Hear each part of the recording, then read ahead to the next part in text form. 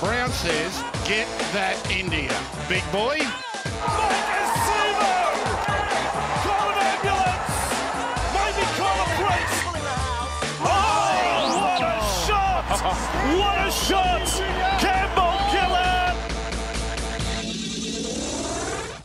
Hello and welcome back to another edition of the Tip Sheet Podcast. A busy week for us over at TCT as we go back to back from Easter Monday to Team List Tuesday. As always, I'm your host, John, also known as 4020, and joining me on our manic little start to the week are my good mates, 60s and Clint.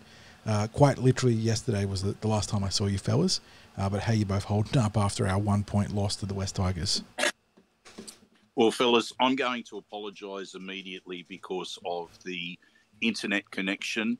It's not unusual, but Optus has some sort of uh, blackout that's going on, some sort of outage in this area. So it's not consistent, the signal. Again, my apologies if it cuts out and I don't end up participating too much in this. I, I But- appreciate the dedica- dedication to the core 60s in an, an analogy for Parramatta's performance. You know, spotty coverage and, and inconsistent results. very, very good analogy, mate. Very, very good.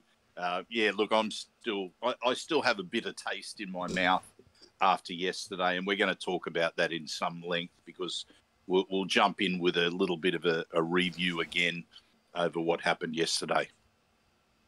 Clint, uh, are you faring any better than me Man 60s after what we witnessed in uh, both grades at, or at CommBank on Easter Monday?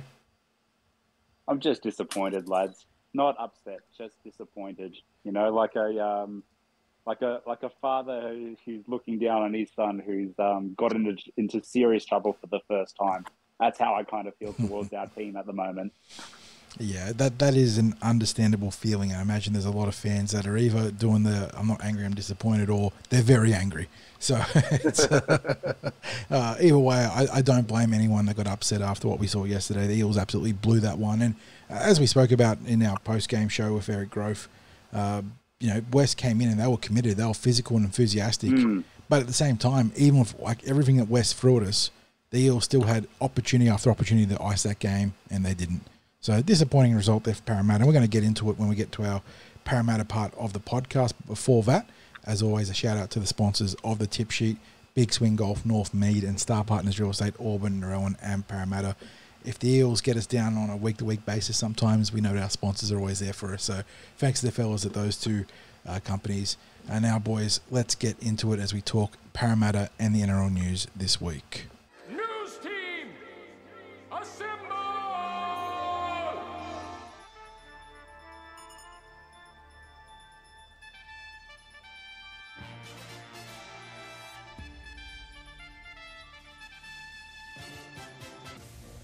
Right, boys, let's start with the flesh wound, get the band aid off, and let the healing start. We'll do our weekend recap, and we're not going to do the junior reps because our Sixties and I managed to cover them in our preview podcast because of the split round care of that Easter long weekend. We start with the NRL, the West Tigers knocking over a late field goal, care of the boot of Aidan Sezer to win 17 16 out at CommBank. Terrific crowd, uh, in excess of 28,000, over 28,500 actually. Very, very good crowd there. For the Eels, Maika Sivo scored in the 15th minute with Clinton Gutherson scoring just after half time. Uh, Sean Russell missing the opening kick uh, for goal off the sideline and Gutho tacking on the points to his try. Uh, three penalty goals for Clinton Gutherson. Um, the unfortunately, crucially, a fourth one was missed uh, with half, uh, sorry, full time ringing out. For the Tigers, Justin Olam bagged a double, Jahream Bula scoring the go ahead try. Api Koroisau uh, kicking well enough off the tee to get him in front, two from three. Uh, there was a sin bin to Lachlan Galvin in the 48th minute for a pretty nasty hip drop tackle. Uh, boys, like we said in the intro, one that we should have won, could have won, uh, would have won if we'd done a number of things right, but we didn't. So, uh, where to for the Eels from here before we get to the team list news? Look, teams will win ugly during a season. That happens. They don't play to the best of their ability. If Gutho had have kicked that last penalty goal, we would have been clocking this up as an ugly win, but hey, we got the two points. How good's that? Instead, given that the stats that just fell our way in such a huge manner. It, I mean, we can't even call it an ugly loss. It was a bad loss. Yeah. It might have been one point, but it was a bad loss because the the players, you know, like it's not even a matter of not executing. We were talking about how clunky they looked in attack yesterday in our uh, post match podcast, the instant reaction. But we really didn't do justice to how uh, poor they were in possession. And, um, you know, it was just so many decisions that were made. I mean, we were we were full of praise for Dylan's efforts and not so full of praise for the lack of support play that he was getting uh, when he was making those half breaks. But by the same token, we also have to criticise Dylan for some some real brain fades with some of those passes and like that tap on pass. Um, After we the- scored the uh, after The- he scored. For the uh, eight point lead, yeah, it was a Yeah. unnecessary. I mean, I, I was telling you that that whole play was just broken fundamentally. We telegraphed going out the back from Shaun Lane to Dylan. The Tigers keyed onto it uh, and were able to put you know big pressure on him. So he needed to either eat the tackle or uh, you know even just let the ball go through to the winger uh, without you know touching it. Uh, yeah, and I suppose that was symptomatic of a lot of our wider issues with the team. I also thought Brad probably outfought, outfought himself in this game too. Um, You know, Junior had been an absolute demolition uh, machine off the interchange for the first three rounds. There was no reason to start him in this game. You know, just No, go go go with what's working. Uh, likewise, I mean the the the, op- the decision to start Kelma over Ryan Matterson, I, I'm sort of at a wash with that one. I think that uh, you could have started Maddo and brought Kelma on as the impact player, or vice versa. But I don't. I'm not sure if starting Madison and then putting him to the right edge was the right play from in that perspective. So I think maybe in terms of the forward pack there, Brad was dealt a tough hand with Bryce Cartwright having the bow out due to that rib injury, on top of the other issues of the team. Uh, but maybe he sort of outfought himself in that regard. So, yeah, look, Clint, we we've we made a, a big deal about you know various key moments in this game. What really stuck out to you uh, as like the sort of quintessential problem with the uh, result? You mean apart from not winning? Um, it's um, yeah. Look, uh, there, there there was a passage of play um, right after, uh, probably just after uh, Galvin was sin binned, um, where uh, oh, I, I forgive my memory, lads. It's not really a game I want to remember all that much, to be honest. Um, but you know, all we needed to um, do was was ask a couple of questions, and, and rather than uh, playing direct to ask those questions, we were just shoveling the ball sideways, even though we had Mhm. uh, possession inside their um, their twenty or, or, or thirty meter line, even. And uh, it, it was in that passage of play, or those couple of sets where we threw it around but did nothing, and ultimately just treaded on the same blades of grass um, for for a, a few tackles. Um, that you know, uh, excuse the pun, and um, you could see it happening after the um, uh, after the sin binning and after um, after we failed to to capitalize on on the one man overlap. That um, that, uh, that galvanized the Tigers, and and the um, the man himself um, came out and and set up what ended up being the winner, or or, or certainly the play that led to the opportunity for the field goal um, uh, to be the winner. I accuse the coach of overthinking things in terms of his forward rotation there, boys, but you get to play a sin bind for the opposition and you go down that edge one time in the uh, the preceding 10 minutes. Uh, you know, sometimes you got to stress it's a simple game. Go to the edge that's been weakened and, you know, has the, the confusion in defense because they've lost, you know, one of their key cogs in that side in their 5-8 And we just didn't go And- that way. And and you know that if Mitchell and Bryce are there, different types of questions are being Yeah. asked in that scenario. and it's you know again with you know we, we talk about young guns and uh, the big showdown between Galvin and Talagi. Blaize had a very good game right up until that try he let in. Uh, You know, again, it's a teaching moment for a young kid, and and it, it stresses the importance of having to stay in the contest for the full eighty minutes, doesn't it? Because he he sparked Eels early on, which probably should have led to a try for Will Penisini with a great little back up from an offload and getting in behind the ruck that let Clint Gutherson get into the uh, to the clear, but Gutho's kick to Pil, to Will, sorry, wasn't quite executed as well as Guffer would have liked, which led to a turnover rather than a, a four pointer. Uh, and he had plenty of other great moments in this game, but you, you go to sleep for one play, and that was all the Tigers needed to get in front. I, I might also add as well, in that period where uh, the 10 minutes that Galvin was off the field, um, and, and, and you touched on it there, 40, that you know we, we didn't even, um, uh, or we visited down the, the, our right edge, the Tigers' left edge once. Will Penisini was was having a bit of a day against Justin Olam. Yeah. I know he got the, the he got two tries himself, but you know um, that stat doesn't actually probably read how the day was really unfolding because Will was finding plenty of space and making plenty of means and looked very likely all day out there, and it, it, it was it was made for a moment there to be um, created, and it just wasn't. No, I think that's fair. Uh, in the first half, in particular, Will was giving uh, Justin Olam an absolute bath out there. Was um, probably averaging about 15, 16 meters a run. It felt like, if not more. Uh, so again, he, know, he, was doing to Olam what uh, Tango um, yeah, it was, to yeah, Kelma a couple yeah, weeks exactly. ago. Exactly, and you know, again, simple game sometimes. M- most of the time, you have a mismatch, exploit it. And uh, the Eels got a little bit too cute in that regard, and maybe they were caught in the uh, the new systems that installed to try and compensate for the loss of Mitchell Moses, and you know, thus weren't reading the game as naturally as they should have. But either way, it got away from him. And uh, and I suppose the last sticking point was the fact that we actually caught Api Koroisau on uh, the penultimate tackle of the set uh, before the field goal, which I thought might have opened the opened the door for even more kick pressure on the back of a you know not sharp dummy half pass. Instead, the Eels were caught flat-footed, and uh, Aidan Sezer put off an absolute uh, uh, Shaun Timmins tier uh, drop kick that barely got over the uh, uprights without any kick pressure. So you know, imagine if there was someone in his face, uh, and unfortunately, the Eels, yeah. Eels didn't get there. And and not only if some like if someone was in his face, it wouldn't have just been the pressure; it would have been a genuine prospect of a charge yeah. down. Like I said, it was a Shaun, well, Tim, Shaun Timmins tier drop kick. It was ugly, flat. Yeah. It, it, barely squeaked over, uh, but no one got in his face. So that, that is disappointing.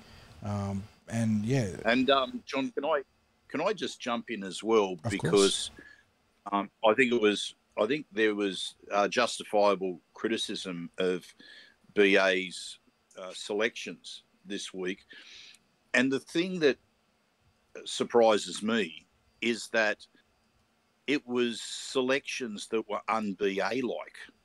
And what I mean by that is we know that Brad's not one for making a lot of changes, that especially unnecessary changes. Like if he has a player out, he normally tries to replace them with a minimal number of uh, positional changes or, or, or, changes all up.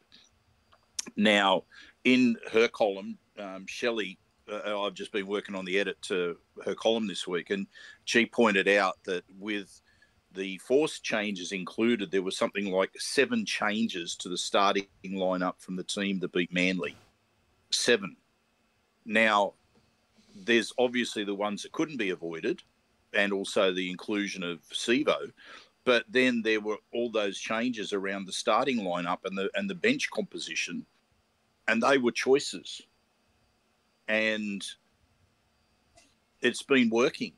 The, the the bench choices had been working a treat in the first three rounds, and as I said, it just didn't seem like BA type coaching at all. Like so, that's probably where I'm really stunned. I mean, did he second guess himself in this instance? Did he? Um, and you basically said it before. Did he overthink it? So um, I have the feeling that this week things might you know despite what the uh, selected starting team might look like in what's been named today i'd be surprised if we had the same starting pack this week. Yeah, well, you point towards the pack there, 60s. I point towards the back line. uh, I, I've got to think Maika Sivo has to be on close to last chance. I, I was giving him the benefit of the doubt after Oh, yeah. he, he had a strong finish the last season where it seemed like the right act was read. And, uh, you know, that culminated in a very strong performance against the Penrith Panthers. Uh, but after a three week suspension where he's actively put the team, you know, behind, as we saw from Ryan Matterson the season before, how much of a hole that can lead to. I, I thought he was very flat coming off that one. He should have been chomping at the bit, you know, tearing in on every, you know, kick return and ruck hit up. And instead he sort of, you know, just lumbered into the defensive line. That was a, yeah, not not a great way to, or not a great first impression for season 2024. Anyway, boys, we move on. Unfortunately, the loss drops the Eels to two and two in a window where they're going to be uh, desperate for every win without their star halfback for at least two months, or projected to be around two months. But they weren't the only team to do it tough this week. The only, weren't the only team for the Eels in the senior footballs to drop the bundle with the finishing line in sight uh, in the knock on New South Wales Cup or knock on effect New South Wales Cup.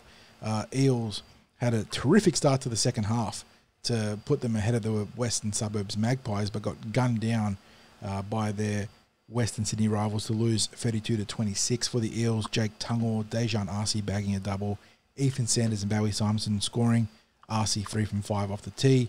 Uh, so the Magpies end up scoring six tries, Parramatta's five, uh, but goal kicking still uh, would have kept them close to it. But geez, this this has been a almost a, a microcosm of their season in, season in a single game. Young players stepping up and, and delivering some big moments, uh, but defensive fragility really costing the team big time. Yeah, and we saw in that game. I don't think the Eels touched the ball. Well, hang on, I'll correct that because there was a touch that happened, but they never had Off the chip kick.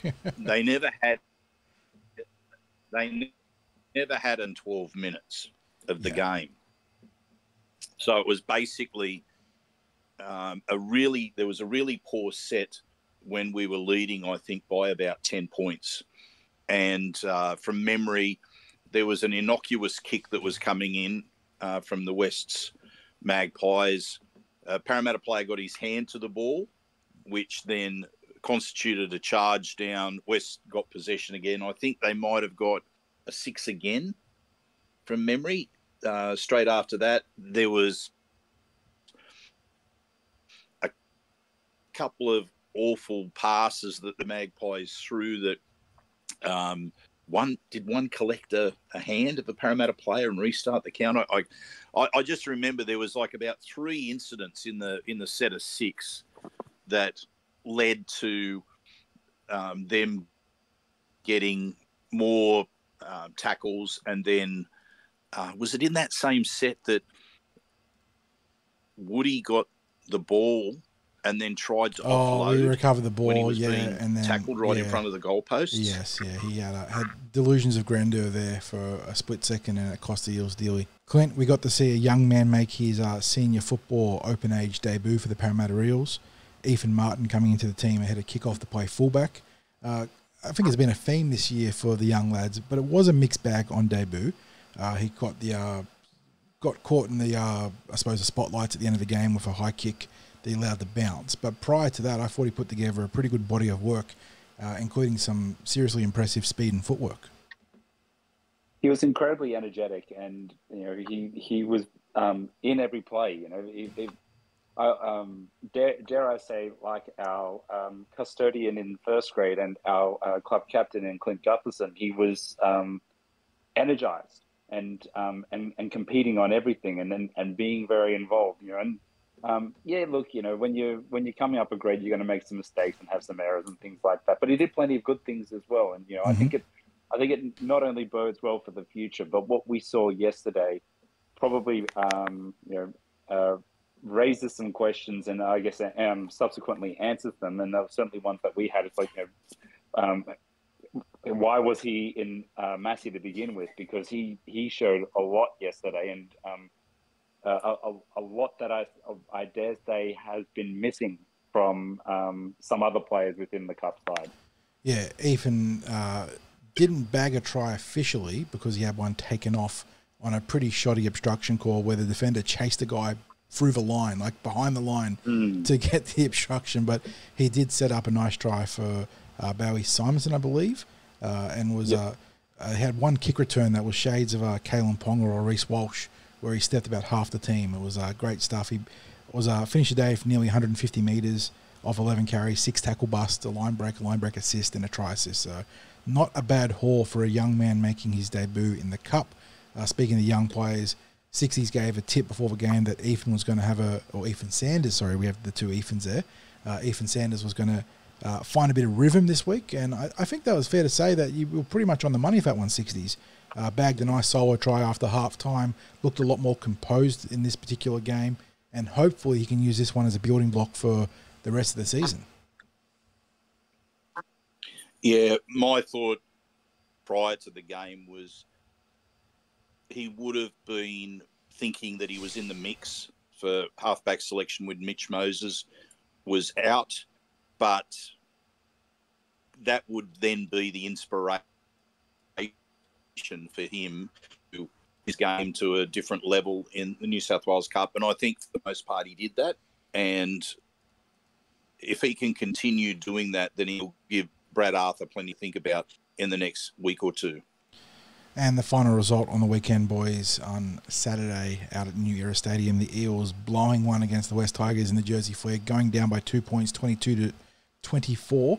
Uh, they raced out to an early lead of tries to Dom Destratus, Joshua Lynn, Charlie Sorovi, and Saxon Pryke.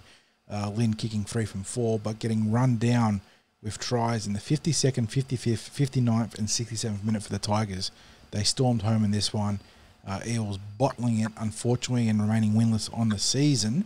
Uh, 60s, we weren't out there because we had a pretty flat out weekend in general, but you do have some feedback from the game. Yeah, we had Para through and through who was out there sending through updates for us to do our live blog update match. He pretty much gave us the his, his feedback was the Eels as you suggested, really let a victory slip through their hands. Defence wasn't what it needed to be in the latter part. A few tough calls against them as well.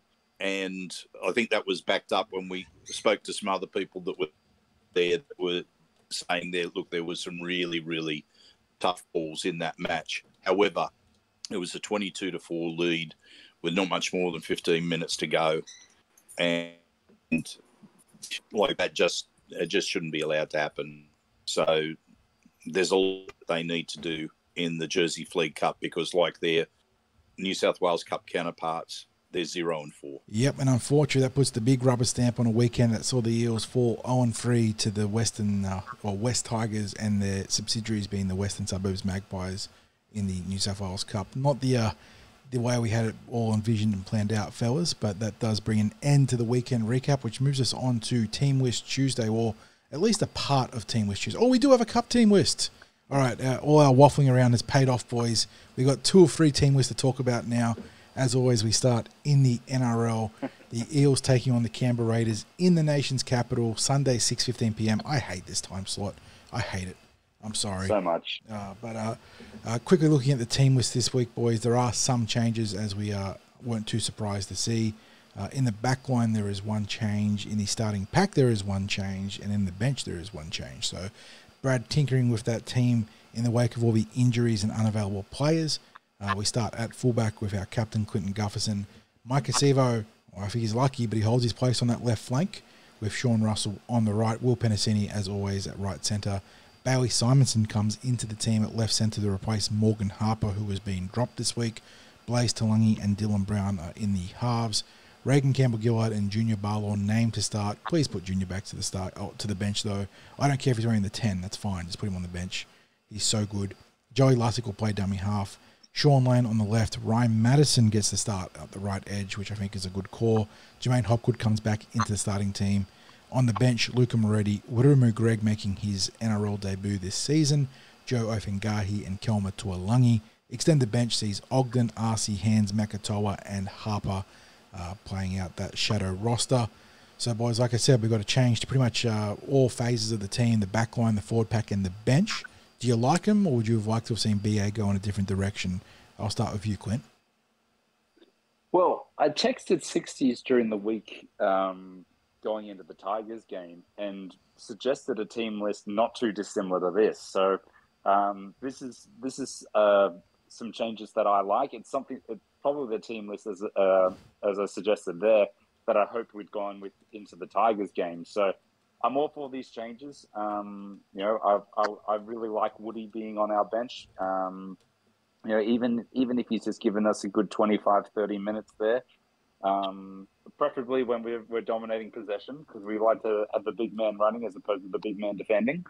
Um, but um, yeah, look, I, I, like the changes. Um, it's, it's good to have Bailey come back into the side, um, if not for a little bit more pace in the back line, if nothing else. Um, you know, like yourself, though, 40, um, geez, it's, it, it's, it must be close to last chance to win for Maika. He's really got a lift this week. You know, I, I, I, I, I want to see some ticker there. He's uh, he's up against the speedster and Xavier Savage too, so that's going to be Yeah. uh, pal- heart palpitations for me throughout this one. And even if he wasn't, you know, um, James Schiller has shown himself in his limited first grade appearances to date to be a handy player. Yes, true, true. I agree with Clint about Maika. I've spoken before about how I like to see wingers tick four boxes being able to catch the high ball, being able to defend, being able to get across the try line, especially when they're given opportunities in the red zone, and yardage and the kick returns. Maika was ticking two of those boxes. He was fielding the high kicks and he was pretty much acing the try opportunities that he was given. Not that he had to do too much with a lot of them, but he still was close to unstoppable in the opposition red zone. His issues were his defense and the inability to make meters from kick returns or in the yardage in sets. What we saw on the weekend, well, yesterday, was Staines owned him Oof. every time Michael was given an opportunity. yeah, mm-hmm. it's true. And like he was being dropped uh, to the ground in one-on-one tackles by Stan- Staines. Now, I'm not going to knock Staines in any way because he he was getting the job done. But normally, it takes a lot when Sivo's got that line in front of him. In the past, it's taken a lot to stop him. He's he gives he's always given value in that part of the field. We got none of that yesterday. And as for the as for the kick returns, he's not going to get through any defender because what we're seeing is as he hits the defenders in when he's carrying the ball up in yardage, he actually slows up before contact. He points his shoulder and hip to the ground and falls into the tackle. It's actually a surrender tackle. And if he ran the ball with some of the venom that Sean Russell attempts to run the ball, he might be doing some damage. As it as it Mm. stands now, what are we what are we getting there? You could literally pick any player in a in a losing reserve grade team that would provide the same as what Maika is in the kick returns. I'm not saying in the other areas. I'm saying in the kick returns because unfortunately uh, he's lost something. He's lost something badly in the last couple of years, and that's a tough thing to be saying about Maika. But it's it's harsh, but I think it's fair. Yeah, I, I- I don't disagree. I I thought maybe the light bulb had been flicked back on at the end of last year, and I was hoping that was going to be carried through to this season. But uh, given that he was coming in ultra fresh, you know, three weeks off because of that suspension, I thought he was going to rip in, and the effort levels were just not there.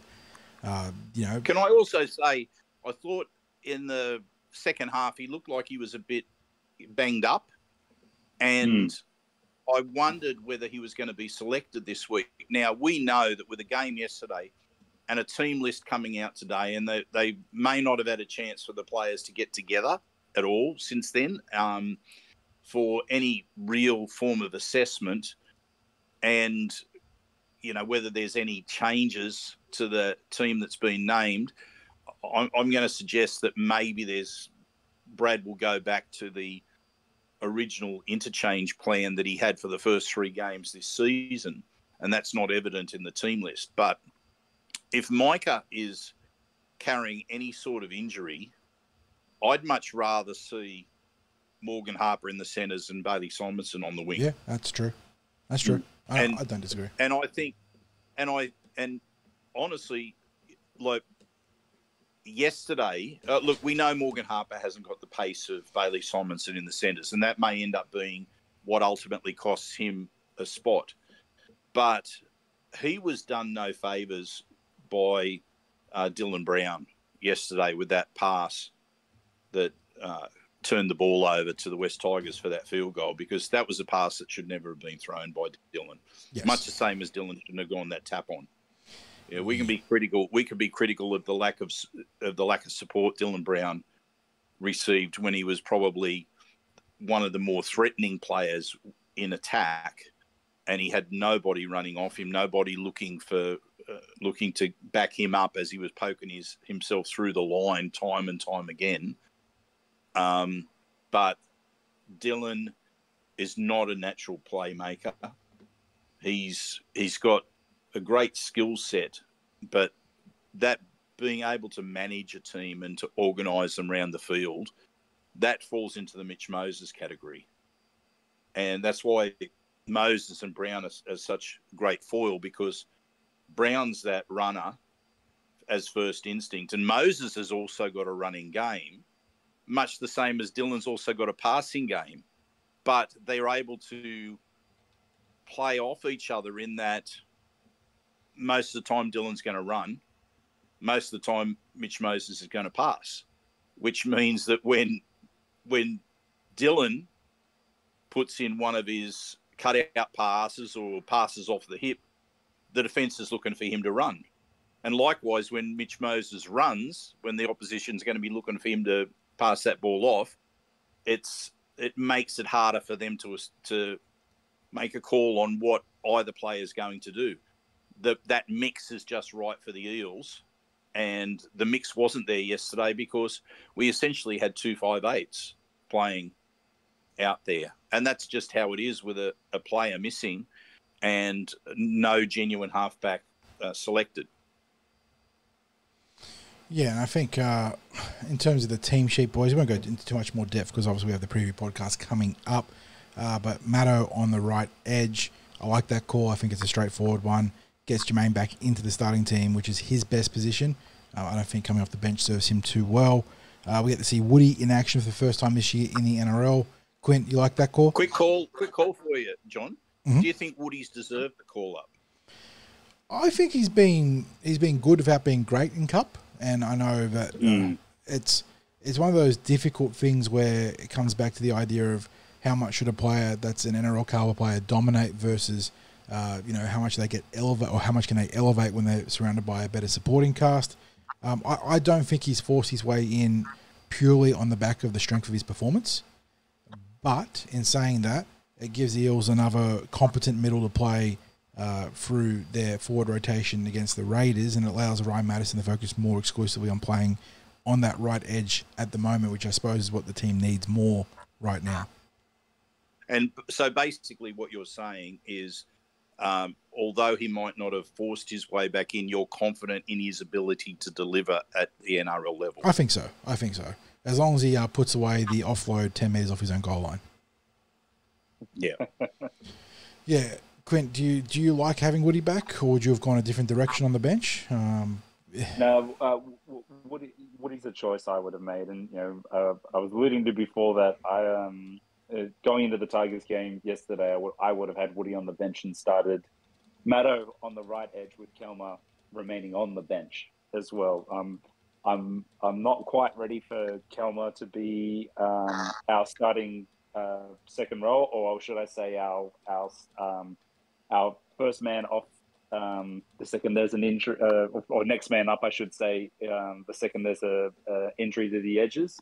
Um, I still think that given his experience and seniority and, and um, experience in the position, although it's not his prefer, uh, preference, that Ryan Matterson should be the person who um, who we put there, and I'm very happy that we've done that this week. And in doing that, you have to um, then bring someone up to play Matto's role in the middle, and uh, I, I think Wiremu is the, the next best option in um, in our squad to do that. Um, so, uh, look, it's it's all a matter of um, having certain archetypes of forwards on there. I'm a big fan of having the um, the impact prop off the bench. Obviously, Junior's been playing that role for um, three of the four games we played this year, so it's kind of negated Woody being there um, previously. But you know, he's also been coming back from injury and making his way back through some cup appearances. So it'll be interesting to see if Junior um, uh, reverts back to that role because I, I, I um, in saying that I like the inclusion of Woody, I don't like the idea of Woody and Junior playing together. I think which which um, was going to lead me to my follow up question. Junior comes back to the bench hypothetically. Uh, mm-hmm. Are you starting Woody instead of uh, uh, I was about to say Offa Ogden, but Joe Ofahengaue? Sorry, Joe. Uh, would you start? Yeah, would you start Woody to pair alongside Reagan Campbell to avoid that combination? Yeah, potentially, and, and, and most likely because you know um, on the subject of archetypes, you want that complementary forward with each other. You know, Reg and one of Junior or Woody complement each other really well. Likewise, Joe Ofahengaue and one of Junior or Woody complement each other really well. You know, and then you have your choice, um, assuming everyone was fit, one of um, Hopgood or Matterson to go alongside them there as well. So, you know, it's um, at, at full um, fitness and, and, full player availability, we, we, kind of spoiled for riches in that particular department, and it's it's um it's great to have the caliber of, of those caliber of players at our disposal. So, look, um, yeah, big big fan of Woody being back, just as long as it's um, in rotation with Junior as opposed to in Junior's rotation. Um, we're still wait for the Jersey Flegg team list to come out, boys, and that might be a, a empty hope as, as, it stands right now. Canberra have named their flag team, but the Eels haven't named theirs. But we do have a cup team, so let's go there as we continue our Eels portion of the NRL and news podcast. There, a couple changes now for the Eels in this one. Four o'clock PM kickoff out at GIO Stadium on Sunday. This one will be broadcast on New South Wales Rugby League TV, so you have the uh, either the free trial or the subscription available. You can catch that one online. Uh, Ethan Martin will reprise his role fullback boys. Jake Tungor and Sam Loizu, Loizu on the wing, sorry. Morgan Harper and Zach Sini in the centres. Daejarn Asi and Ethan Sanders in the halves. Ogden and Makatoa in the front row of Brendan Hands at dummy half. Dan Keir, Charlie Geimer, and Brock Parker getting the start at lock forward this week, round out the starting team. Matt Arthur has slipped back to the interchange, where he's joined by another young player in Saxon Pryke. Good to see Saxon getting the call up. I think he's been one of the shining lights in a pretty uh, tough start for the Jersey Flegg for the Parramatta Eels, so good to see him getting his dues. He's joined on the interchange by Tony Mattielli and Reese Alderton. Uh, 60s, obviously some changes there. Good to see Martin holding his place at fullback. I think outside of that uh, one bomb he let bounce, there was a really good uh, senior debut. But we see uh, one of the other standouts uh, in the young kids there, Matty Arthur, dropping back to the interchange. Is this about load management maybe and just giving him the ability to pace himself as the season starts to get into its stride in earnest? Yeah, well, I think you've got two factors at play there, which is um, perhaps what you mentioned in terms of load management.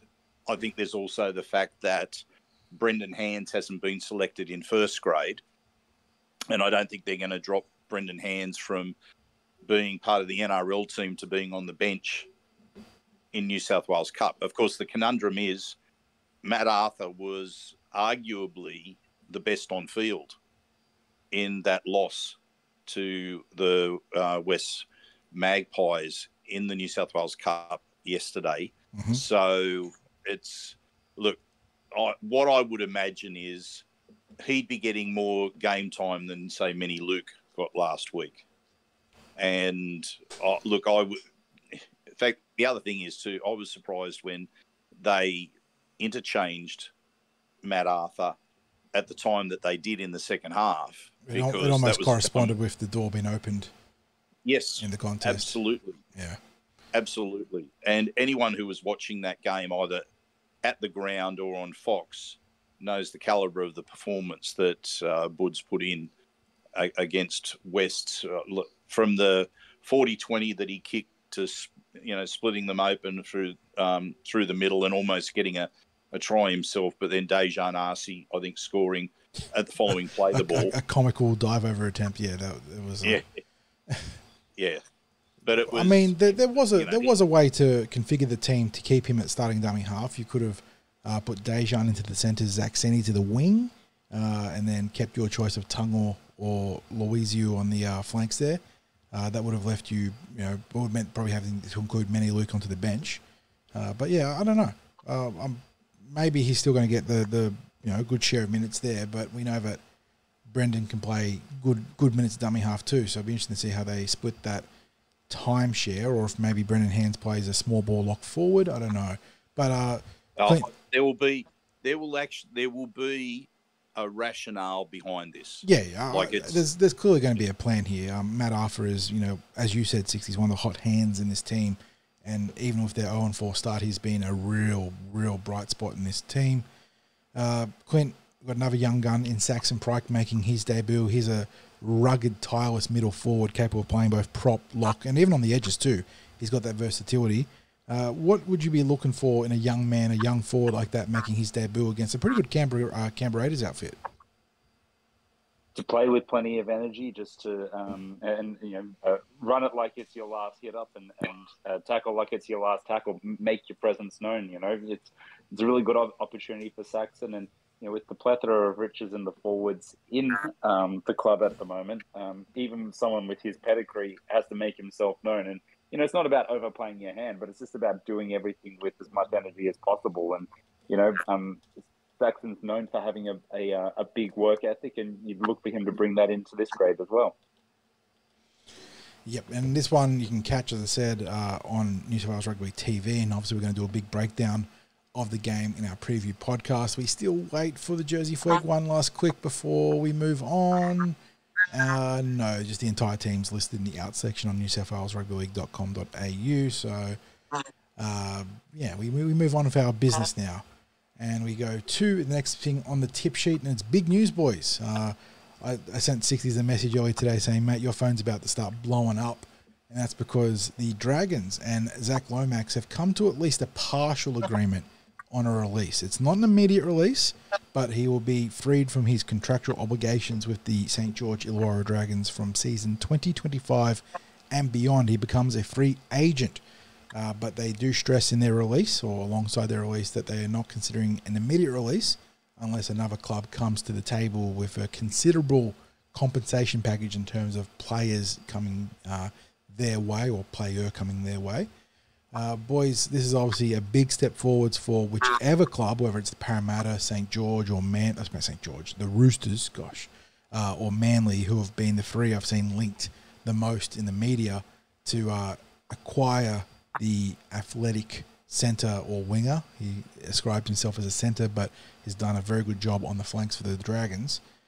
Uh, Eels, we know, want him, uh, but obviously you still got to give something up to get him. So where does that leave us, 60s? What if you're reading the tea leaves right now? If you're pulling the, the, the cards from the deck, what sort of hand do the Eels have to play right now? Two of clubs. You're going to have to elaborate on that one there because that, that could be uh, taken a few different ways, actually. well, uh, let's just uh, let's just say we're not we're not busting out an ace in this in this hand look, I, I think if the Dragons stick to their stick to their guns in terms of wanting a player swap or, or or a player involved in this trade, you have to remember that the Eels are now sitting with 27 players in their roster. We we don't want to be going backwards or maintaining the status quo. I don't think we'd want to be weakening a strength because if they're talking about getting a prime forward from the Eels, I doubt that the Eels are going to to give up an area where they have an advantage. And if they're if they're asking for us to give up, say, um, any of our NRL forwards, and and I'm talking about obvious, they'd they'd obviously be wanting someone like a Ryan Matterson, a Junior Paulo, um, an RCG, like somewhere in that vicinity. Because didn't they say they were after a top three player from a roster? They're, I mean, they're they'd be kidding to be expecting something like that to be given. I would be stunned if the Eels came to the party there, um, which makes me think he's heading elsewhere. That's just that's just my gut reaction on it. I might be way off beat. Maybe the maybe the club have all intentions of of swapping out a player. I just don't see it happening. We're certainly not going to be swapping it back, and and I just can't see them swapping a, a high profile forward. I really don't. So, um, I mean, what what do you think, fellas? Yeah, I, I, agree. Clearly, it's not going to be a back as much as you know we might have issues of our or take issues of certain you know certain aspects of each of the the backline players have been critical of uh, on this podcast and prior. Uh, you you can't get a player and then lose a player in a position where you're asking for more depth, uh, whether it's you know yeah. top line depth or actual depth. Uh, so yeah, it then then becomes a moment or question of where do you set your value as a as the club as the Parramatta Eels the Dragons is saying that you have to give us a top tier player, and I think Flanagan was outrageously quoting it has to be a top three player. Uh, you know, just this weekend past, which no club's giving up, whether it's Parramatta, whether it's the Roosters, whether it's Manly. You know, you, you, they're not getting Dylan Brown, Mitchell Moses, Clinton Gutherson, you know, anyone in that caliber. But you have to draw that line where you would be accepting a player swap. You know, is it a Wiremu Greig? Is it a Ryan Matterson? Like that seems too rich at that at, those two points there. Um, Eels obviously have someone like Offie Ogden or Makasi Makatoa who are very competent players uh, that can play quality first grade, uh, you know, in in batches of four to six games. Is that someone the Dragons are interested in? So I have to wait and see how that plays out. I, that doesn't seem like. Well, I would suggest. I would suggest no, they wouldn't be. Yeah, exactly. And that that's a, the the counterpoint to it is the Dragons will say, well, that doesn't improve us enough which is understandable. Uh, so it becomes a stalemate. And uh, yeah, I don't know. And again, look, the fact that he's now a free, I will save his sixties. When that eight hundred thousand dollar offer was, and the the almost the threat of that sort of hung over the acquisition of Zac Lomax. Uh, for me, it had to be he, we get him this year, and it makes or breaks the deal. If you don't get him for this season, I wouldn't want to know part of him. Now that he's a, uh, the way it reads is that he's an out and out free agent and can negotiate a new deal elsewhere that means you could bring him in for season 2025 on a deal that's more consumer with what his actual value is. So if that's the case, I think that now opens a different door to negotiate for next year without bolstering this year.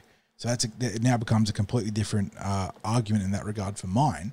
But we have to wait and see how that plays out because obviously there's Sunia Turuva on the market as well. Eels have a number of internal prospects that they're going to be looking to bring through for season 2025. Uh, if you can't get Lomax this year, it, it, it, does complicate things. So we have to take that into consideration. Um, I think and we'll, can I just jump in there and say, of course, we have three spots now, and with every week that passes, and those spots aren't filled, it, it becomes more problematic to field a team. Yep. Because you haven't got much space to work with if you've got a roster of 27 and if you if you have a look at the New South Wales Cup options for BA to select in first grade what, what are you what are you actually talking about in terms of realistic options? You, uh, you know that can play in the outside backs.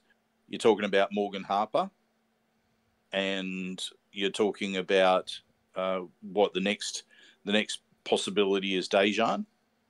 Yeah.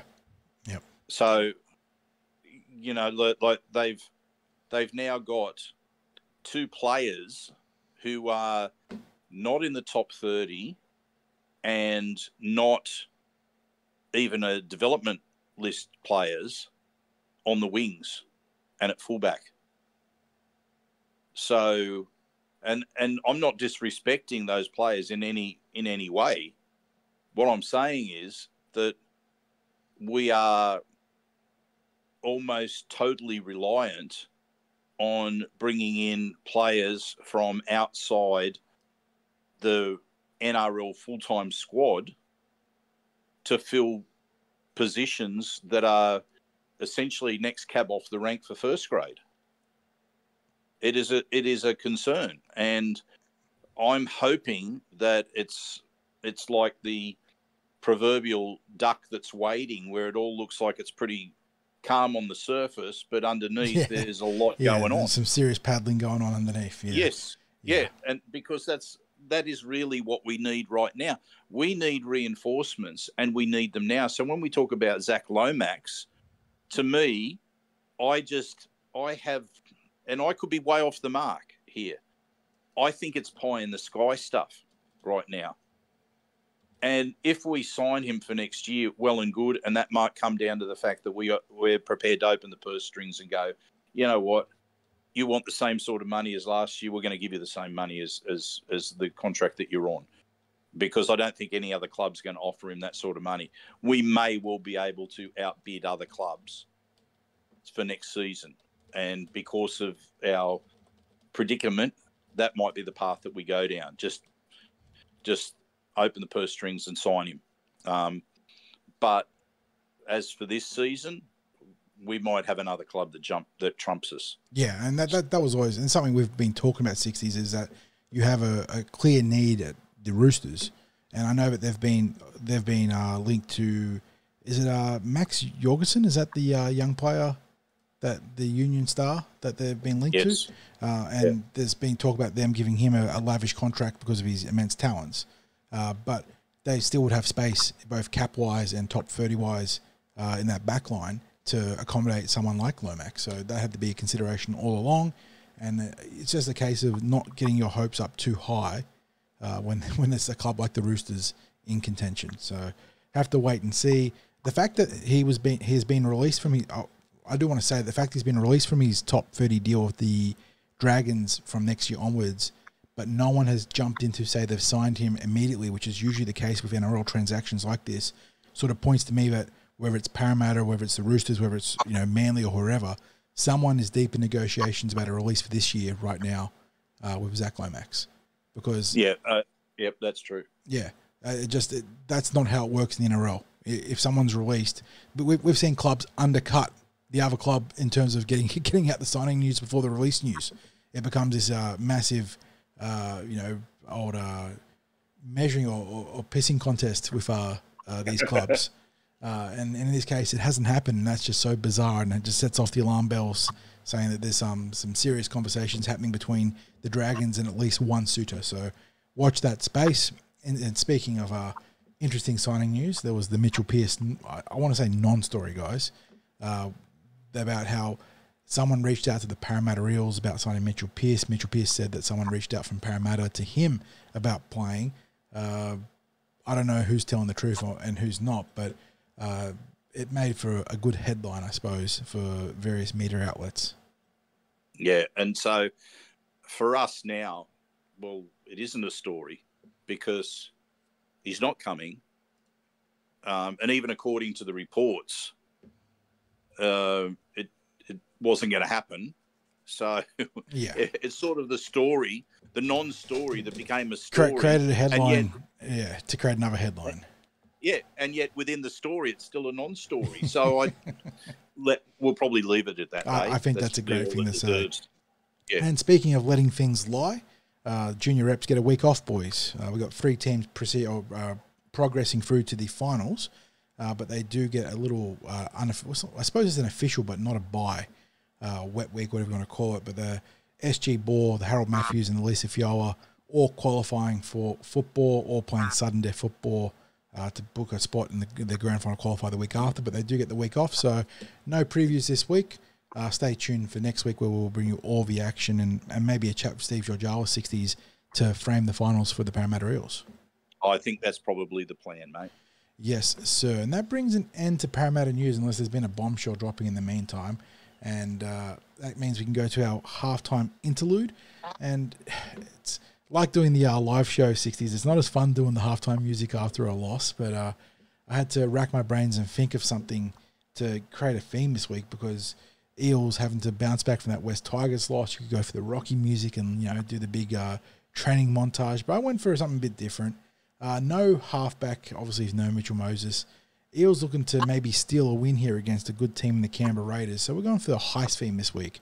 Heading off to the nation's capital, going to raid the uh, the Federal Reserves there and maybe plunder a little win. So we're going with the Oceans 12 music this week, boys.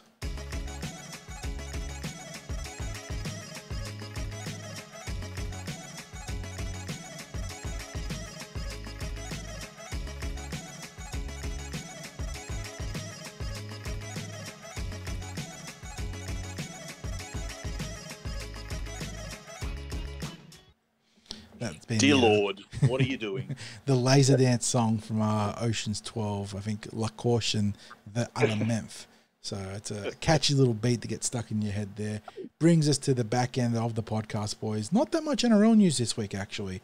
We'll do a quick uh, race around the round four recap and then go through some injury news, a, a little uh, social media feud, and then uh, the Raiders. Are they playing uh, silly buggers with the Sharks or they have something serious going on there? But we start with our round four recap. Uh, no more undefeated teams in the NRL on the back of what we saw this week.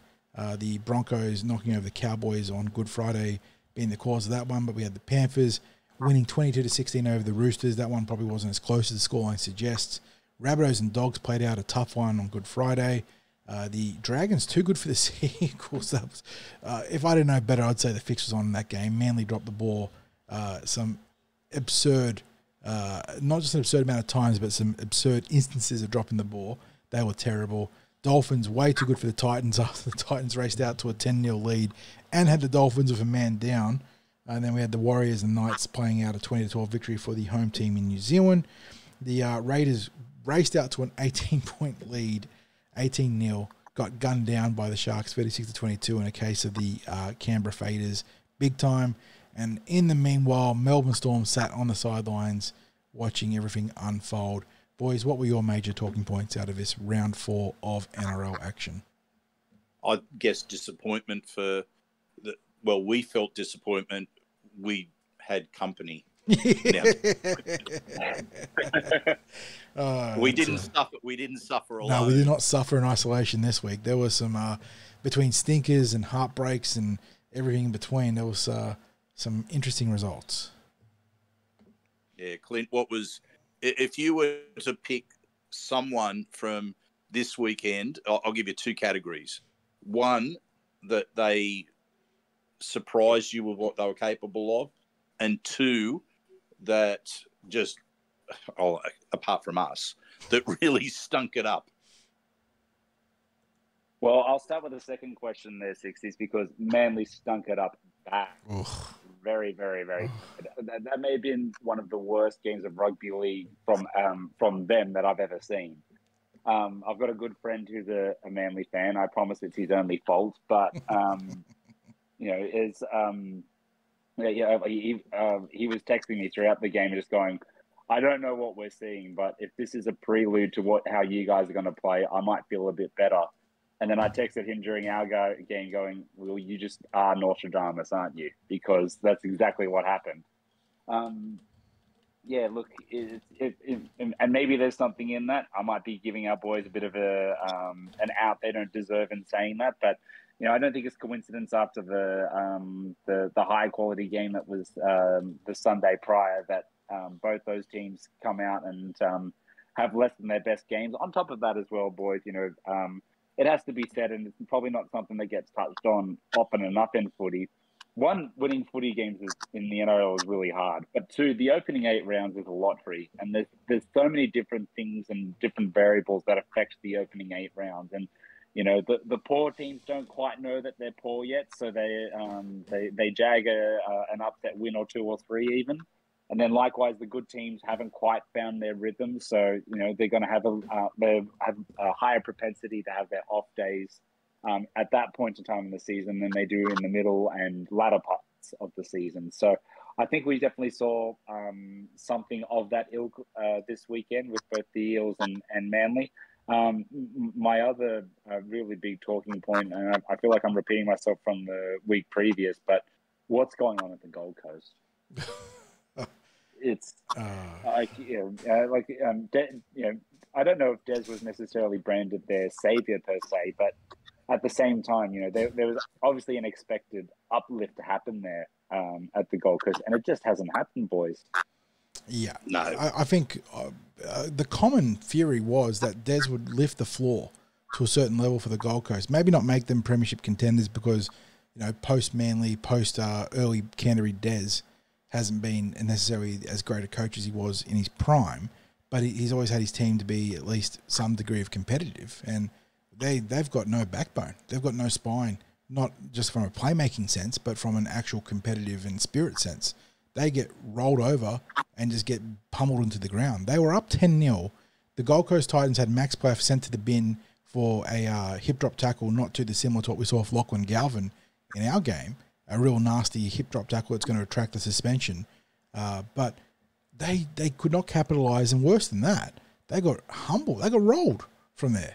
You know, and the, the Dolphins aren't a powerhouse team at least to start this season. That they've had a you know produced a mixed amount. I know they're on top of the table now by way of our points differential, but they're two wins and one loss. They they're not you know dominating, and yeah, they got no. absolutely absolutely humbled by Redcliffe. Well, not Redcliffe, the Dolphins. Oh, is it fair to say that the Titans look like a team that hasn't bought into what the yeah, coach. Absolutely, is. absolutely, yeah. It, it's it's like you're seeing. Uh, look, might be too extreme to say half-hearted, but it's it's just they don't look fully committed to what he's asking for. Now, whether he's asking for something that they don't really um, enjoy playing or whether it's beyond what they're capable of producing, I don't know. But they just don't seem to be enjoying the football that they're playing. And uh, that seems to be, I guess, the, the measure of, of their performance right now. Can I also throw in there, now that we're, we're talking about this early part of the season, I wouldn't mind a home game where we're not sitting baking in the sun at this time of year. It, we, we, we, I love Sunday afternoon football, Saturday uh, Saturday evening football, or you know, on, on the occasion Monday football in that same time slot. But please, when it's daylight savings switched over, so we're not getting absolutely baked. it's it is absolutely brutal in the west of Sydney in this time of year in those time slots. Yeah, and I mean we're we're not even thinking about the players in this. We're thinking about yeah. yes, very selfishly, we are thinking about ourselves. It is it, it's not great. The the for people who aren't really familiar with this, the most populated part of the uh, CommBank Stadium should be the eastern stand, and there is shade that is possible at the over, on the western stand, well, that is in shade, but that's the corporate area. And people go into the general admission at the northern end of the ground, which gets good shade at this time of year. But if you're anywhere else, it's baking time and it's not pleasant. You're not only looking into the sun, but yeah, you, the the temperature is well. Let, us just say there is a, there's a lot of people that seek refuge under the stands at the, during the breaks in the game. So before the game starts, there's a lot of people just hanging out, and then when the halftime siren hits, everyone's out of there and trying to get it cooled off in some way. So I think it's been a tough draw at this time of year for all those matches, but it's probably a bit better than the scheduling that was there last year. Yep. Because if you remember, they were just like we had, I think, the Thursday night and Friday mm-hmm. 6 p.m. games, and that yep. was just awful for people to get to. So, I guess yeah, from a time, timing point of view, it was it's it's um, uncomfortable, but people can get there. And given that we've now had a couple of sellout games and crowds of over twenty nine thousand and over twenty eight and a half thousand in two of the three games, it's the the fans have voted with their feet about being able to get there at that sort of time. I don't know what happened with the Manly game it was just a strange roll up or non roll up of a lot of people. It was it was probably eight or nine thousand down on what I thought it was going to be. But yeah. I agree. Anyway, all right, boys. Just, that's, that's my two bobs worth. Yeah, speaking of two bobs worth, there's not much uh, news worth talking about this week, but there are some funny little anecdotes going around. First one, some bad news for Luke Metcalf. Uh, one of the breakout players for the Warriors last year had a confirmed leg fracture in his uh, well, the Warriors' victory over the Knights on the weekend. I, I, saw that live, boys. I, I was stunned. He, he broke his leg. I don't know how. I don't mechanically. I, I didn't see the contact that broke it. I thought it was like contact like on the meaty part of a leg, uh, but he somehow broke his leg, and it's going to put him out of action for a while. Yeah, yeah, and it's look, it's it's unfortunate. Um, I guess it's one of those things where maybe there was just um, the the right level of contact, if you want to call it right. You know, the Yeah, the, the- worst possible. Quite the- the quite or- breaking point on the contact, right? Yeah. yeah. So uh, maybe there it it applied pressure at, uh, in a way that we couldn't see. But yeah, very unfortunate for the young bloke. And I'm not sure how long we've got him listed out for yet. I'm just trying to find the Warriors press release here, but uh, you know that that's not obviously not a Mitchell Moses tier blow because of the difference in the caliber of play, but it's still a big loss for the uh, Warriors, given Metcalf has been so strong as the offsider or the um you know the sort of two IC, foil. yeah, the, the, The foil, foil. to Shaun Johnson. So they they they just specified a late season return. They haven't put a timeline on it yet. Um, I suppose it'll depend on whether he, he did undergo surgery, so that's going to extend the timeline of recovery somewhat. So uh, best of luck in his recoveries there. Um, that leads us on to our second bit of our sort of miscellaneous news, and almost trivia, I suppose. We uh, had a interesting little online feud coming out of the weekend. Uh, Jackson Hastings, who look, he's a divisive individual, I suppose, given his history at certain clubs. But uh, I think Andrew Voss, and, and I'm not the biggest fan of Andrew Voss. Don't get me wrong here. Uh, I thought he made a pretty innocent comment in regards to catching uh, Hastings and a few other players from the New South Wales Cup game, uh, chilling and, and relaxing watching the NRL game. He, uh, I think he described uh, Hastings as maybe being a bit tired from the game and having a nap or something like that. And Hastings lashed out at him on social media. He went after him big time. I don't know if there's history between the two individuals there, but he popped off somewhat unwarranted. And to Voss's credit, and like I said again, not not a guy that's coming out here. I'm not a guy that's coming out here defending Voss on a week to week basis, but Voss was quite magnanimous and and sort of issued a mere culpa that I don't think he had the issue. So uh, I don't know what you guys make of it, but you know, well done to Voss for taking the uh, higher path in this uh, particular instance. But yeah, Hastings lashing out uh, pretty aggressively on social media. Do you think it was a case of Hastings didn't actually hear it himself, but someone's reported it to him? Some that the Yeah. commentary, uh, because I think the deal was he was saying I wasn't up there on the hill or I wasn't wherever it was that you know was there, there's a, a Um, strong chance that we've it, I, I don't know what we call it these days, uh, but whatever version of whispers and and whatnot that you want to call it has gone through, and you know various different recipients have somehow you know altered the what was the original original sort of uh, meaning of Voss's term, uh, phrase, but yeah, Voss was quite innocent in his uh, commentary Mm. there, yeah. And yeah and it's and you know what? Um, Voss was the the victim of that with many years ago yeah, with he was the yeah. the, the uh, statue of Ray Warren. Ray Warren, yeah. Yeah. Yeah, that that, that, And he- that, and was an ug- that was an ugly saga too. That played out real nasty. Yeah, well, that that was Ray Hadley, um, really created a, a public anti-Voss campaign hmm along that. When I think Andrew Voss said something along the lines of, "Does the did that does the statue look like Ray Warren?" I'm not so sure. Like words to words to that effect, but it was it was taken as being disrespectful and you know blah blah blah. And- so in this instance, I think uh, look, I think to be fair, and I'll, I'll be fair to Andrew Voss as well. Um, he was there was um, some criticism that was leveled at him, I think, by Shelley on our uh, on TCT, and um, I think there was a, a bit of debate uh, around that, and um, Voss basically said, like, criticism that's valid is fair, and you know he he his attitude was look if someone's if someone's you know has a belief and they stick to their guns that's fine by him so And look, he's I, I- I've certainly I've, I've you know had issue with Voss's commentary at times because I find him to be sometimes guilty of not sensationalism or, or trying to like make a moment bigger than it is in, in the terms of the context of the of a game. But anyone that carries that attitude, sixties, you, you can't help but respect. You know. oh yeah yeah Mm, i think he i think what he for sure. looks i think what he looks to do is to create some talking points in his commentary Mhm. Um, uh, like it's and and I say like you know genuine genuine talking points in that he might be playing up a a, a moment. He might play up a um, a call, a decision that's made.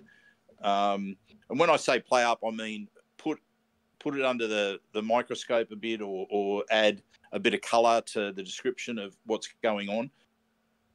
But I still may I, I would maintain that um, for the most part, I think he's doing it for the entertainment. Oh, we've, uh, without, a, he's without a the doubt, without a doubt, yeah. yeah. I, yeah. I, I, as much as I, I say I'd level criticism, criticism at him, goodness, oh my good. Um, I don't think there's ever malicious intentions of the way he approaches commentary of the game. There's clearly passion for the game there. Uh, and Clint, I suppose it's a reminder for all of us, not just Jackson, not to fly off the handle uh, when something comes your way, and always uh, do a little bit of uh, fact checking and verification. Yeah, absolutely, gents. You know, um, one thing, and you know, just putting um, this particular um, scenario aside for a second, I don't like anyone that assumes malice in things.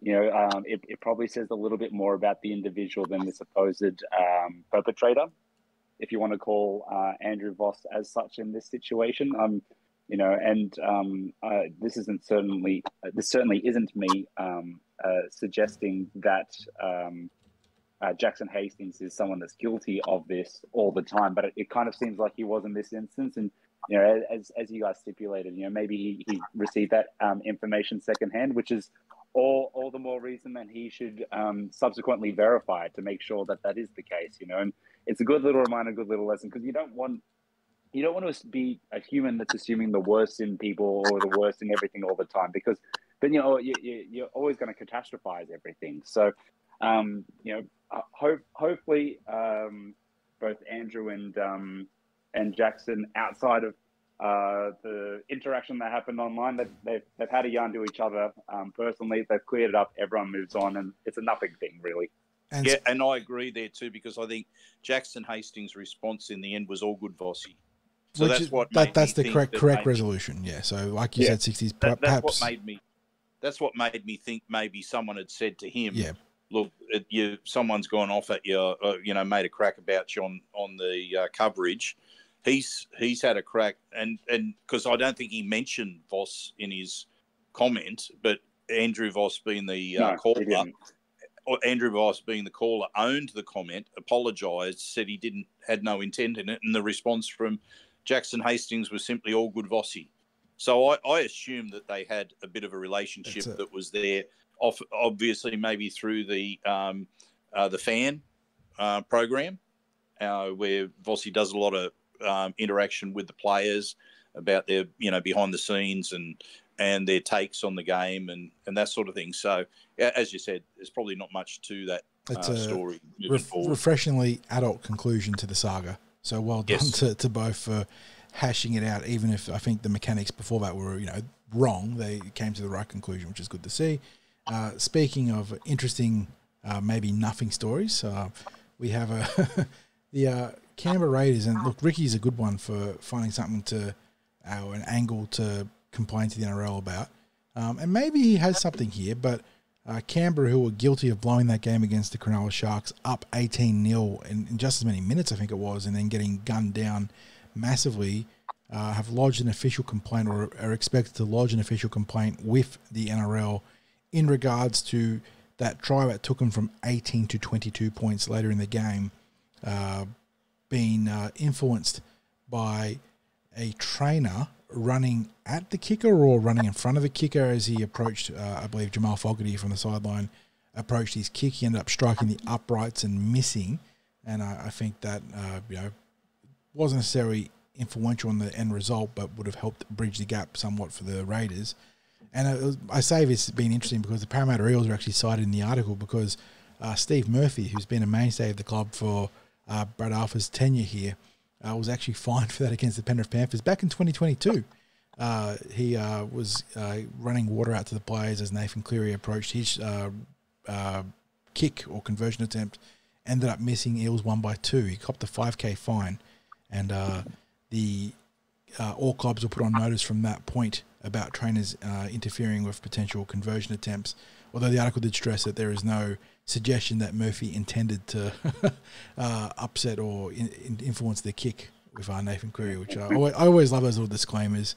Uh, but yeah, nothing story, boys, or is this something that the NRL needs to be uh, cognizant of? Because I, I will say this: look, when you're when a kicker is approaching a conversion attempt or a penalty shot, the uh, defending team cannot obviously infringe with inside ten meters. Not going to actually make any uh, distracting. Uh, I believe they're actually prohibited from making any distracting moves. So, uh, which uh, would lead to a re kick if the uh, and the ref sees or the team that's kicking appeals. So there's uh yeah maybe there is something here for Canberra, and you know we know Ricky can be guilty of a whinge, but he might actually have grounds to be upset in this particular instance. Do you know what? There could be multiple re kicks in every round because the number of times you see the team that's uh, behind the line start moving forward as Mhm. the keeper is coming in. Um, Mhm. it, I mean, look if they if they do a crackdown, woe betide that particular round of the NRL because it will be on. Yeah. like they if they get serious, it'll be on because I- I'm I'm sick and tired of um, of seeing teams do it. Even our Eels do it. They move off the line before the kicks Mm-hmm. being taken, and I think to myself, uh, every time I've noticed that the kick's been successful, and I think they tend to move off the line when it's a gimme sort of kick or close to a gimme kick. But you, you don't take the risk that the ref. You're going to get one day. If it's not a crackdown, you still might get the, the time one day when the ref goes, you know what, you fellas have just moved 10 metres into the field of play as this kick was being taken. He can have another shot. What's the? And- I am Mhm. curious, boys. What is the protocol for it? Because obviously, when we're Parra fans, we sort of look back to that game against South Sydney in the finals where we had a penalty goal strike the uprights with the South Sydney guys being offside, uh, and and whatnot. Do you have to use a captain's challenge? Can you appeal to the referee? Like, what are- what are the mechanics for the kicking team to lodge a complaint or an appeal in that process? Yeah, I'm. Look, I'm honestly, I'm not sure about that, um, but it's. uh, I think, like, if the kicker, I think the best thing is if the To kicker's point- to point it out. suspecting, Yeah. yeah, that they that they say, look, um, they're moving off the mark as I'm coming in. I've they've done it the last couple of times I've kicked. It's distracting me, and uh, I would imagine the ref would then go to the opponents, don't move off the line, and while the kick's being taken. Hmm And then if they were to do it, then it would be okay. We were told. Um, the ref is like you were told. Then they would. But can you imagine the furor when it's if if it ever comes in that a ref actually picks a team up for doing that because everyone's going to be talking about how it happens all the time. Why is it now being? Well, it's like kickoffs. There's always an offside chaser off kickoffs, but they never penalise Yeah. it. So the first team is going to get it done against them is going to be so upset and say, "Yeah, everyone else is doing it. Why us?" But uh, at some point, it's going to come up, and it's going to be real funny as long as it doesn't involve us in a negative way.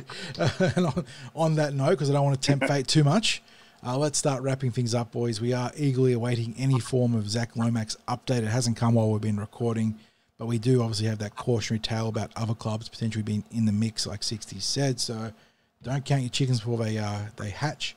Uh, Parramatta Eels looking to obviously secure Lomax, but uh, got some stiff competition. So until we get some clarity, boys, uh, that will catch you guys in the next episode. That'll be the preview podcast of myself and 60s. We'll obviously run our, our eyes over everything to do with the uh, Canberra Raiders this weekend, and we're still waiting for that uh, Jersey Flegg list. we'll get our first look at the Jersey Flegg team in the preview podcast. As always, though, boys, a thank you to the sponsors of the show Big Swing Golf, Northmead, and Star Partners Real Estate, Auburn, Rowan, and Parramatta, fantastic partners of the Cumberland Throw. Thank you, boys, for making it happen on a earlier recording than usual. We actually recorded from when the team was dropped at 4 p.m., which is why we've been stressing the Jersey Flegg and Cup team list. They came out, or the Cup team list came out about 5 o'clock. So uh, it's a, been a fun podcast experience. Uh, 60s did a good job navigating those uh, blackout issues with Optus. Clint, thank you for everything you've done for us this week as well. Great insight on that recap. 60s, as always, though, I'll let you have the final say. Go, you mighty Eels.